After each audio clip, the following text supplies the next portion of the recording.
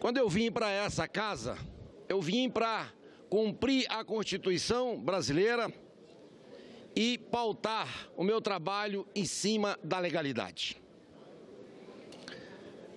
Estamos vivendo hoje um momento histórico e vergonhoso. Nunca se ouviu falar tanto em democracia. Nunca se ouviu falar tanto na Constituição brasileira. Tanto fala o grupo da esquerda, quanto fala o grupo do governo. Mas, no entanto, essa democracia não está sendo respeitada, porque o voto democrático nas urnas, nesse momento, está sendo retirado dos milhares e milhares de eleitores que fizeram uma opção.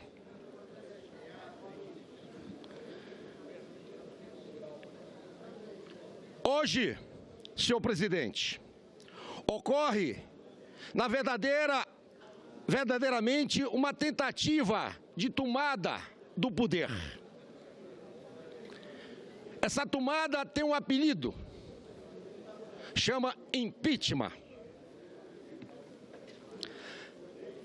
Tal decisão abrirá um precedente de fragilidade de todo o sistema político e constitucional brasileiro. Porém, afirmo, o prejuízo maior será da nossa população.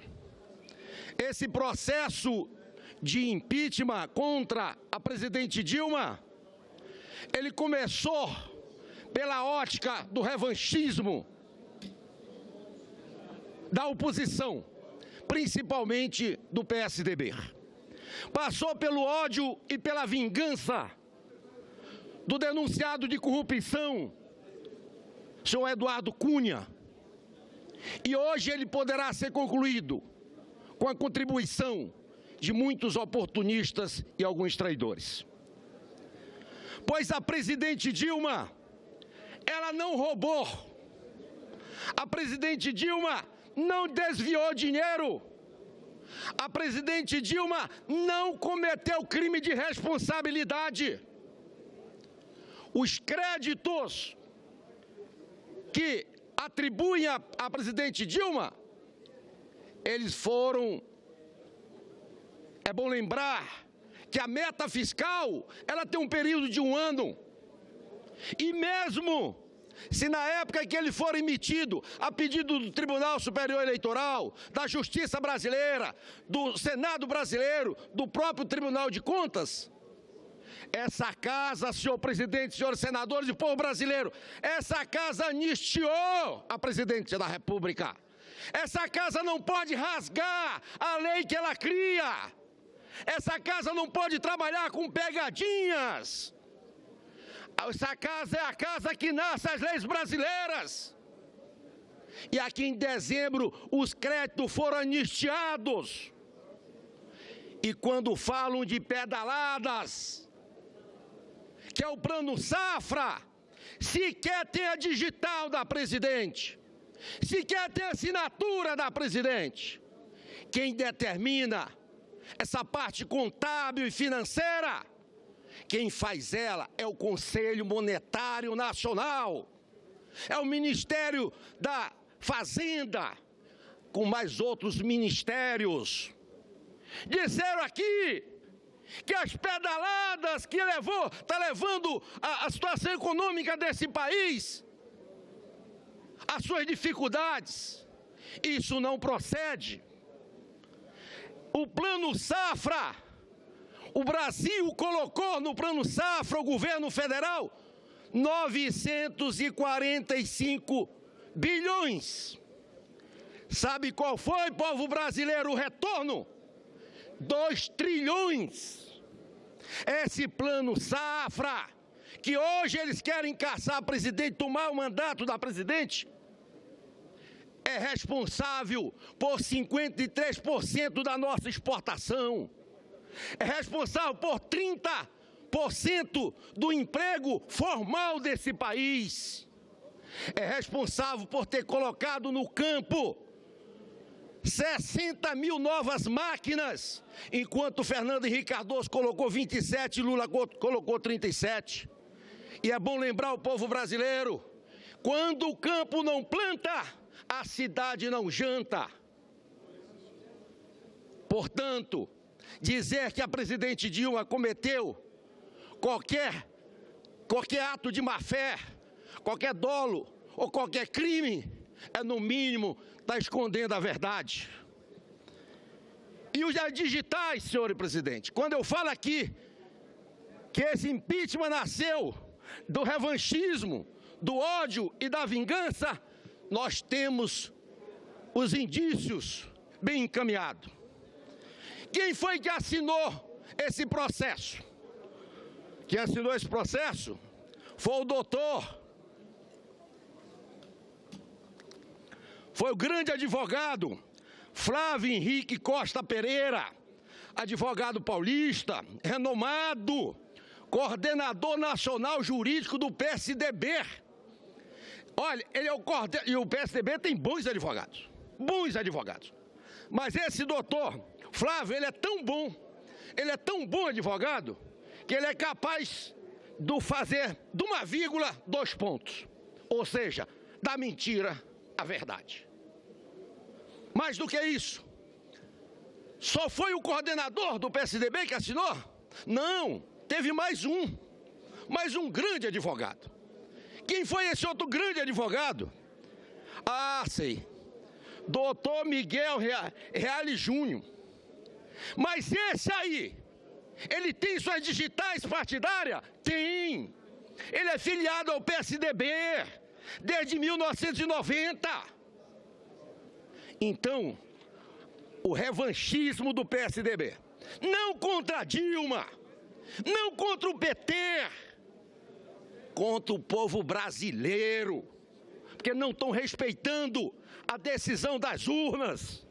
Mas espera aí, Alguém mais assinou isso? Assinou. Assinou a doutora Janaína Pascoal. Opa!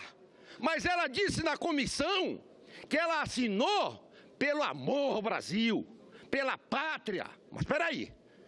Ela também disse que ganhou 45 mil reais para fazer isso. Opa, 45.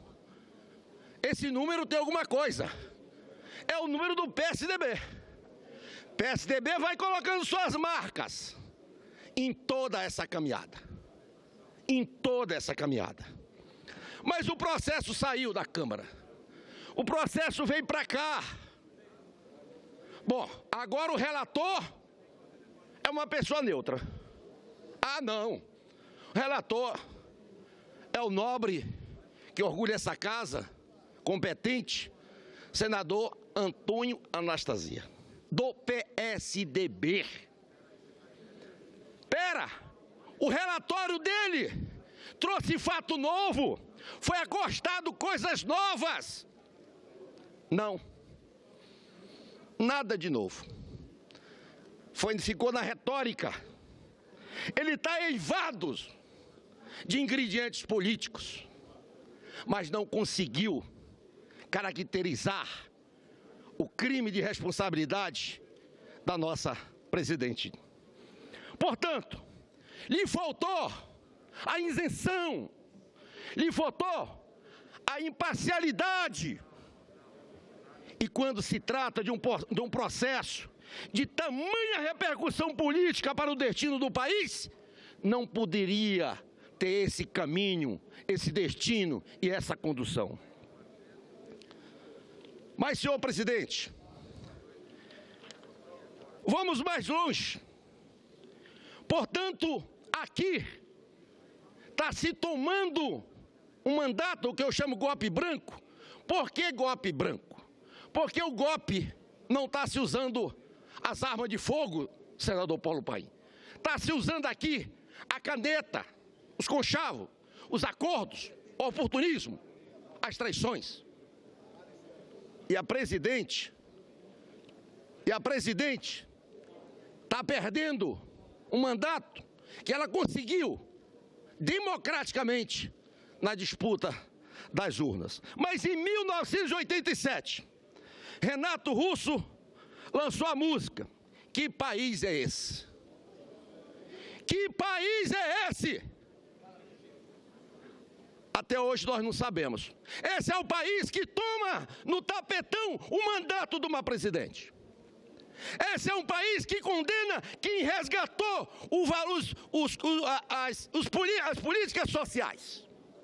Que país é esse? Que país é esse? Vamos responder a pergunta de Renato Russo. Esse é o país que nós estamos reservando para o nosso, o nosso futuro, para nossas gerações futuras? Não. Nós queremos um país que respeite a lei, que respeite a Constituição, que fale de democracia e faça cumprir a democracia. Que país é esse? Esse é o país dos nossos sonhos? Um país que não tem capacidade de enfrentar os nossos problemas econômicos, políticos e morais, que não foi causado pela presidente Dilma, não. Hoje o Congresso, o Congresso tem menos popularidade do que a presidente Dilma. Mas ela é que vai ter que pagar tudo.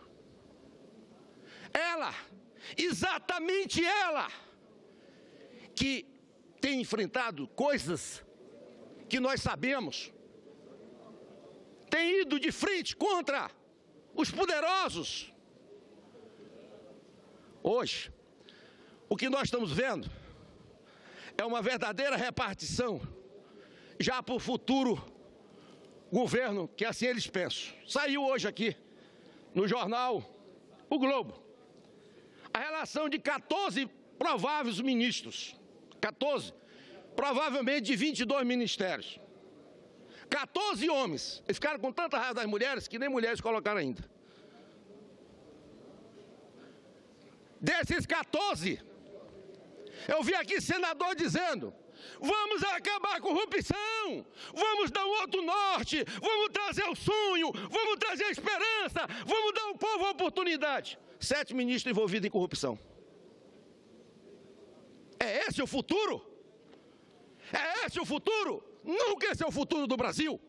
Quem foi para a rua, quero falar com você, professor, enfermeiro, médico, dentista, estudante, pai de família, empregada doméstica que a Dilma valorizou. Vocês que foram para a rua pedir um país diferente, nós estamos vendo um país que está botando a ponte para a desgraça e não para o futuro. Prepara a mala aí. Bora preparar, preparar a nossa mala aí. Vamos voltar à rua. Vamos gritar o que realmente nós queremos. Não vamos deixar o povo brasileiro ser enganado. E eu tenho razão de estar aqui sim, porque eu estou vendo que a presidente Dilma está sendo tirada por uma grande justiça. E já concluindo sim, no meu estado de Roraima, ela foi muito importante.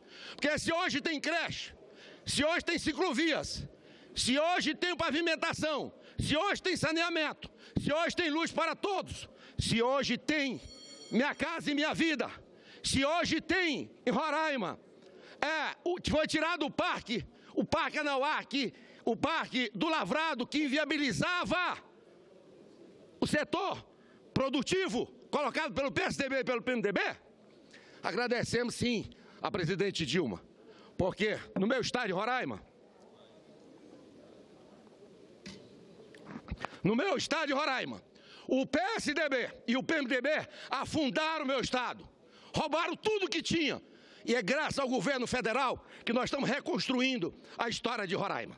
Então, concluindo a minha fala, eles se espalharam no dia da votação. Tchau, querida. Botaram aqui, tchau, querida.